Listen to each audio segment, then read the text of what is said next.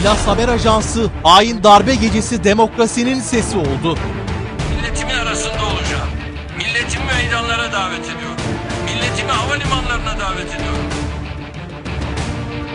Tüm arkadaşlar olağanüstü duruma geçsin arkadaşlar. TRT binasına asker girdi diyorlar. Bilginiz var mı abi? İlk kurdu, darbeye direndi. Yayınlarını hiç kesmedi. Askerler bas buraya askerler.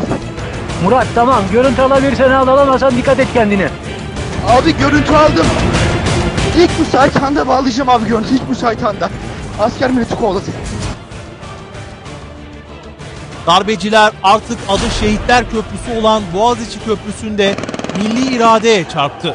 Kalkışmanın bittiğini ilk duyuran İhlas Haber Ajansı'ydı. İhlas Haber Ajansı darbeci askerlerin köprüde teslim olmalarını işte böyle görüntüledi. İhlas Haber Ajansı demokrasinin ve milletin hep yanındaydı.